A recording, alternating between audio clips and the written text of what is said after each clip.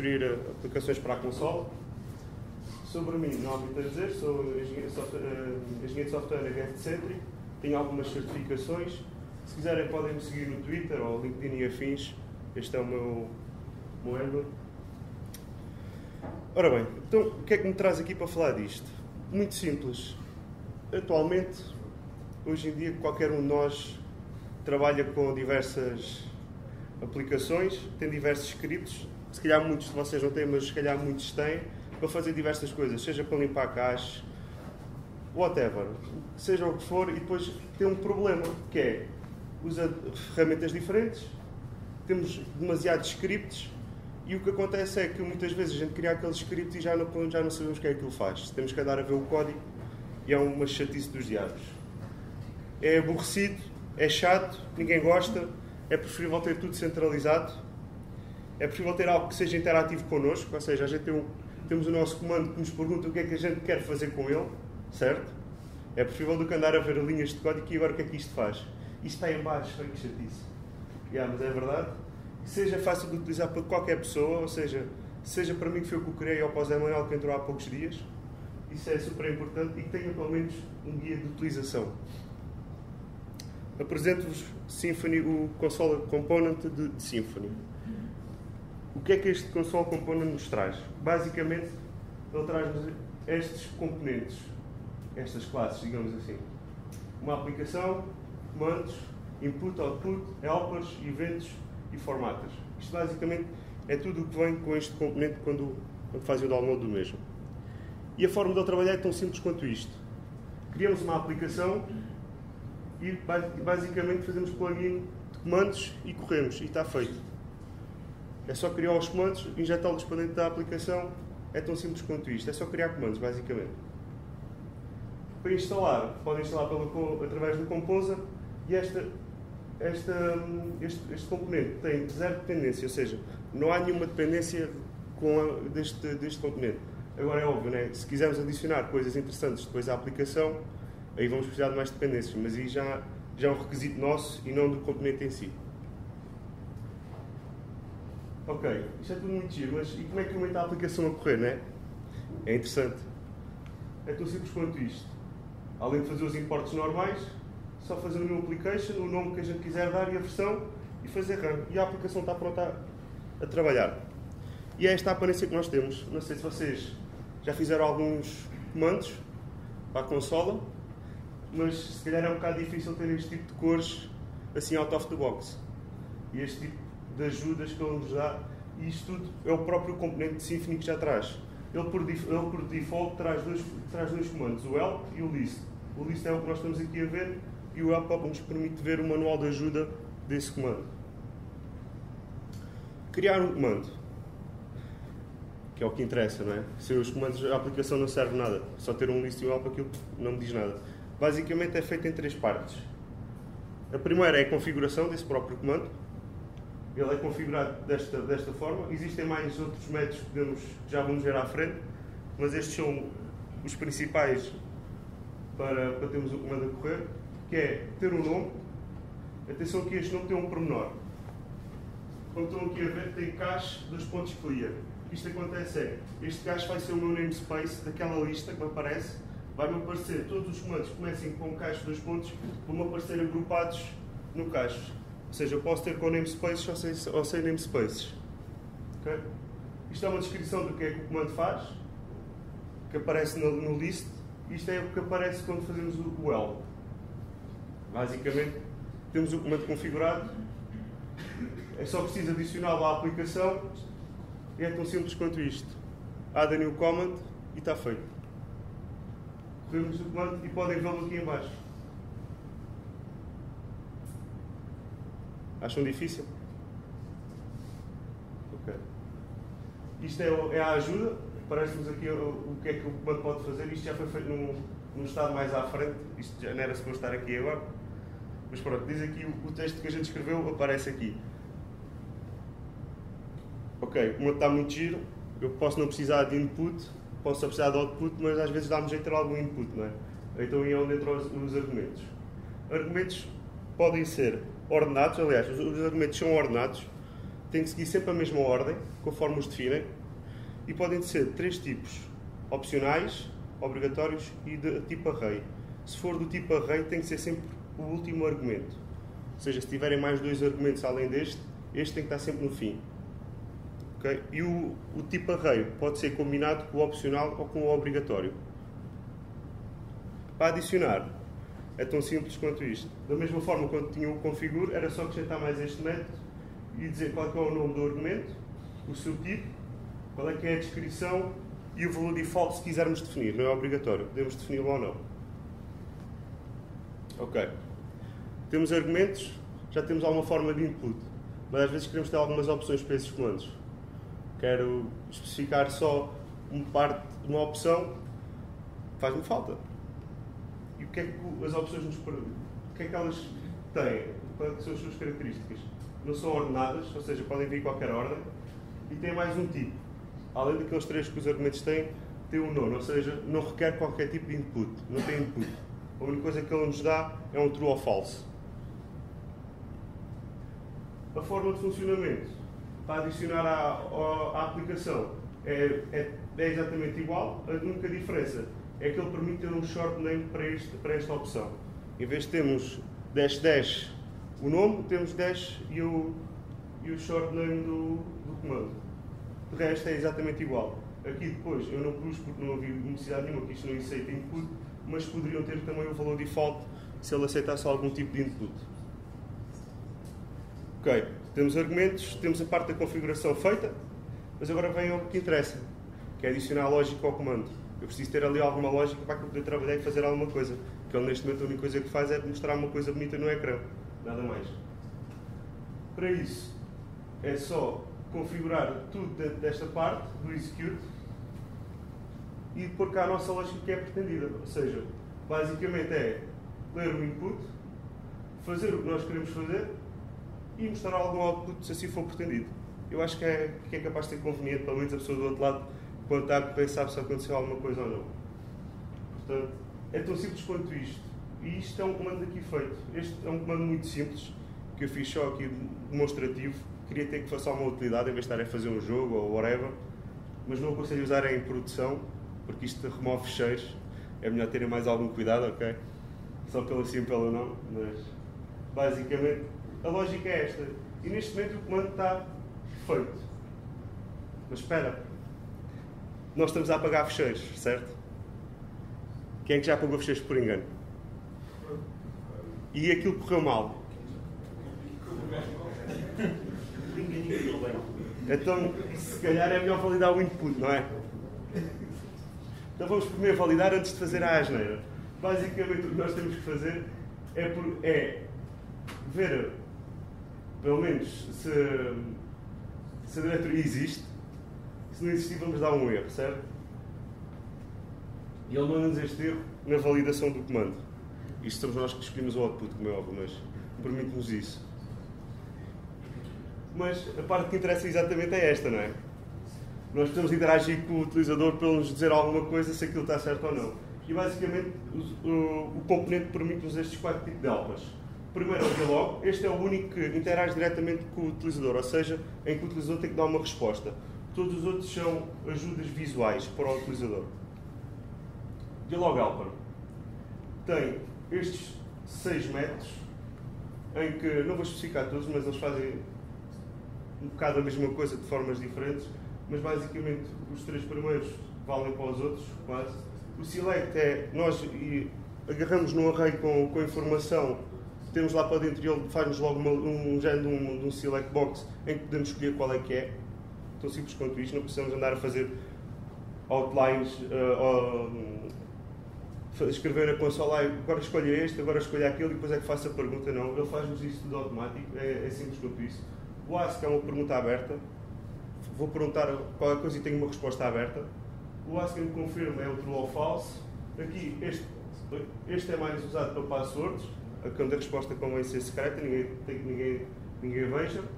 O validate ele valida logo o, input. E a forma de usar é tão simples quanto isto. Ou seja, antes de eu ir apagar, crio o meu, vou, buscar o meu, o meu helper, o dialog, e adiciono uma pergunta. espero a sua resposta, como é óbvio. Depois, é claro, né? a seguir vou fazer a lógica ou não, se, ele, se conforme a resposta se apaga os fecheiros ou não. E basicamente este é o output que ele nos dá. O yes já foi o que eu escrevi. Ele não vai lá. Ok. Este é o output do, do select. Como podem ver, é tudo muito idêntico. A única diferença é que eu aqui escolho qual é que é o, o diálogo que eu quero usar e o input depois aqui também varia um bocado, conforme os, os parâmetros que ele, que ele, requer. E basicamente, o output que eu tenho é este, ou seja, tenho aqui um array, ele põe-me isto tudo bonitinho, com zero esforço do meu lado. Isto é muito útil e é simples e é uma forma muito simples de conseguirmos fazer comandos interativos na nossa empresa, seja lá qual for. Os formatas. Os formatas basicamente servem para isto. Para dar corzinhas, para dar aquele ar bonito ao comando. Para não parecer um, estamos na, na consola a fazer coisas aborrecidas, não é? Basicamente existem dois tipos de formatas, o section e o block. O section é este, em que ele divide a primeira parte daquilo qual é que é a secção que nós estamos e o texto.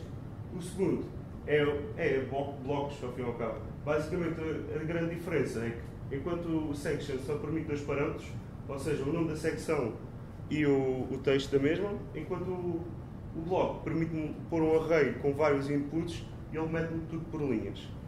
Ok? E depois permite a gente pôr o nosso, fazer o nosso próprio formatação. Ele, por norma, tem, se não estou em erro, são quatro: o error ou o info. Eu agora não estou a lembrar do outro, mas são, são quatro todas, se não estou em erro. Mas permite-nos tanto definir qual é que é a cor de background como a, de, a, de, a das letras, ok? Foreground. Progress. Isto faz-me lembrar aqueles sites antigos, não é? Que a gente, o seu site está a carregar. Basicamente é isso. Mas só que isto é bastante útil, não é? Se a gente tiver a fazer migrações de base de dados, às vezes estamos a ver o comando e a gente não sabe o que ele está a fazer. Ele está a correr, não é? Não vamos matar o comando, mas, mas basicamente é para isso que serve, para a gente dar esse poder visual ao utilizador. Ou seja, isto é uma forma linear, simples, só para criar para ver como é que funciona. E basicamente o outro é este, né? Claro que ele não faz isto em três linhas, faz tudo numa só, é? Para dar aqui algum aspecto visual, cria, esta, isto assim. Mas basicamente se tiverem a migrar a base de dados ou whatever que demore muito tempo e queiram dar uma percepção ao utilizador qual é que é a porcentagem que vai, isto é fantástico. Tabela. Pelo mesmo caso, pode servir para o mesmo. Não para mostrar é que está a migração, mas para validar a migração. Imagina então estamos a validar uma tabela que quer migrar quer ver se a estrutura está certa. Ok, vou buscar o meu helper, passo-lhe o meu, meus headers em um array, os valores e imprime e pergunta ao, ao utilizador se quer validar ou não esta migração. Simples quanto isto. Ok, isto é muito giro.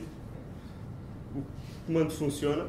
Consigo imprimir coisas engraçadas para o utilizador, consigo ter coisas, consigo ir buscar dados para mim, para poder processar, mas em certos pontos, se tiver uma aplicação complexa e que seja a vossa própria aplicação interagir com os comandos, noutro contexto, não neste, podem querer usar eventos para saber se o comando está a se iniciar se o comando, se houve alguma exceção no comando ou se o comando terminou.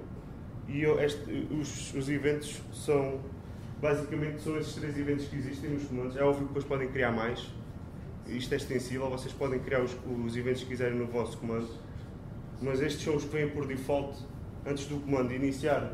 Ele envia um, ele, é para aqui, já, é, já, já há necessidade de ter o, o componente do Event Dispatcher do, do Symfony. Ele aí já requer, ou seja, ele não requer obrigatoriamente, mas se quiserem usar tem que ter esse, esse componente. E basicamente são estes os eventos que ele, que ele tem. Ok. Isto é tudo muito agir. Mas como bons programadores que nós somos, e eu sei que toda a gente aqui faz testes unitários ou testes funcionais. Não? Quem é que faz? Olha lá, não está assim tão mal. Pronto. Pensei que fosse pior. Pronto.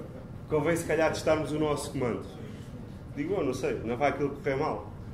Calhar quando fazemos os testes. E para testar é muito simples. Os testes basicamente podem ter várias abordagens. Esta é a minha, não há uma abordagem certa nem errada. Isto basicamente os, os, os testes em comandos não são testes unitários, são testes funcionais porque o comando basicamente aquilo tem uma funcionalidade. que a gente faz é, temos o nosso comando, se eu quero ir buscar alguma coisa concreta, vou buscar uma biblioteca que eu tenho que me traz essa coisa concreta, seja o, para ir mexer no file system, para ir ao ORM buscar dados à base de dados, eu não vou por essa lógica aqui no comando, como é óbvio. Eu vou é buscar essa biblioteca e aí sim, pois eu aqui faço o que quero com ela, com aquilo que ela me permite. E eu não vou testar aqui isso. O que é testar é a funcionalidade do comando. O comando faz aquilo que, que é esperado ele fazer. Ponto. E basicamente, eu aqui fui obrigado a usar o, a application, por norma pode não ser necessário, mas quando mete input, ele automaticamente o application é que faz logo o set do, do get helper. Esse é o motivo de estar aqui o application. E basicamente simples quanto isto. Aqui tive, não pus aqui o código para ser mais legível, mas fiz o mock do dialog helper, que era para poder, para poder permitir fazer o skip de interação do utilizador. Okay? Porque senão o que acontecia, vocês iam para o PHP Unity e aquilo ficava lá parado à espera da vossa resposta ao comando. Isso não é muito engraçado. okay. Procuro, estou a procurar o comando, isto não era necessário, mas é só para verificar se o comando realmente existe na aplicação ou não, podia estar a acontecer uma coisa errada. Por acaso falta aqui uma coisa, que era adicionar ao comando, eu tirei mas depois eu corrijo. Uh, ok, tenho o meu comando, vou correr o, faço o new command tester, já vou explicar o que é que isto faz, e executo o comando. O primeiro argumento sempre do execute no array é sempre o comando. Qual é que é o nome do comando que vai correr? A partir daí para a frente são os argumentos e opções. Basicamente, falta aqui muita lógica deste teste, mas o teste já está online no meu repositório, depois eu posso-vos dar o link e podem ver lá. Mas basicamente está aqui a lógica. Eu basicamente ao início valido se o fecheiro efetivamente existe, senão isto não faz sentido, não é? Primeiro tenho que validar se o, se o fecheiro realmente existe no sítio onde está e depois executo o comando e vou verificar que ele já não está lá. Senão não fazia lógica nenhuma este teste? Não é? Basicamente, está comandos é isto. O command tester quer, se repararem aqui, é o que estou a usar, serve basicamente para que quando estão a executar o vosso comando não haver qualquer tipo de output. Ele guarda o output dentro da classe é, e depois arranja-vos forma da gente conseguir buscar o output para podermos fazer a validação. É por isso que serve basicamente o command tester, para não andarmos a inventar a roda, já está, aqui, já está disponibilizado para ser usado para isso mesmo.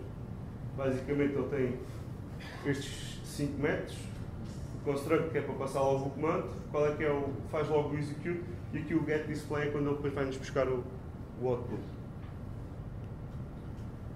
Isto é o resultado. Neste caso tinha três asserções, não era o que estava ali no, no slide, mas são efetivamente três asserções e correu tudo bem. Fantástico, ok. O comando está muito engraçado, faz tudo muitas coisas, muitas giras, mas isto até agora não me serve nada, certo? Eu preciso ir buscar coisas à minha base de dados, preciso ir buscar uma biblioteca minha própria do, da, da minha empresa que faz o que quer que seja, mas preciso disso para poder executar o meu comando para ter alguma utilidade para mim. E a forma disso ser feito é, é simples quanto, é tão simples quanto usarmos Dependency Injection. como vocês não sei se calhar sabem, mas todos os componentes de Symfony, a framework de Symfony 2 é só por ela é um componente. Todos os componentes estão desacoplados. Isso é uma grande vantagem o Symfony está. Dá-nos, dá porquê? Porque podemos usar os seus componentes completamente isolados, o que a gente quiser. Basicamente, nós aqui vamos fazer é, além do, do, do componente do, do, da consola, vamos buscar também o Dependency Injection e eu fui buscar outros, mas isso não, não, não é agora aqui o caso, para fazer o loading e por aí fora. Mas basicamente, o que é que nós vamos fazer? Vamos agarrar a Dependency Injection e vamos buscar serviços para injetar dentro do nosso comando. Como é que isso é feito? Nós temos aqui a nossa aplicação, os nossos comandos.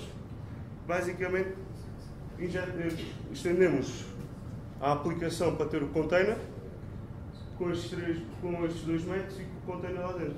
Basicamente, injetamos o container para dentro da aplicação e depois falamos com, com o container para ir buscar serviços ou não. Ou seja, eu posso adicionar os serviços que eu quiser aqui e eu aqui depois uso-os conforme tiverem de ser disponibilizados. Tão simples quanto isto. Podem usar os, os serviços quando quiserem bem-vos apetecer nos comandos que vocês quiserem. Container Aware Interface, que é o, que vamos implementar, a interface. Basicamente tem o set container, mas eu, além do set container, dava-me jeito de ter um get container para eu estar no meu próprio comando e buscar o container, certo? Senão não tenho o container e isso não me interessa. Quero ter o container comigo quando estou nos comandos. Ok. Tenho o meu container, já registrei o container e agora quero ir buscar o container para usar no meu comando. Em vez de ter aquela lógica toda, basicamente o que eu fiz foi fui buscar o, o serviço do file system e o Finder. O Finder basicamente serve para procurar nas diretorias, dar métodos mais, mais giros para usarem com, com melhor uh, tratamento de erros e de exceções.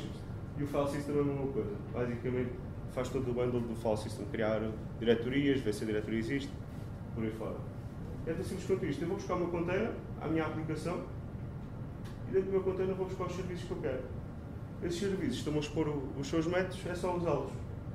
E tenho o, e estou a usar aqui todo o potencial do, de bibliotecas que existem na web, seja dizendo framework, seja do que tiver módulos separados e consigam fazer dependência e consigam buscá-lo para dentro do container por serviços, tem aqui um mundo aberto para criarem comandos complexos para aquilo que vocês necessitam do vosso dia a dia e de uma forma simples e testável, porque estes comandos são todos testáveis.